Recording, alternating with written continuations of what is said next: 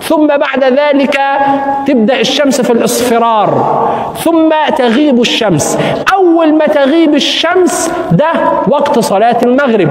وهنتلاقي كده لما تغيب الشمس نطلع بره كده هنتلاقي حاجة حمراء في السماء. ده اسمه الشفق الأحمر.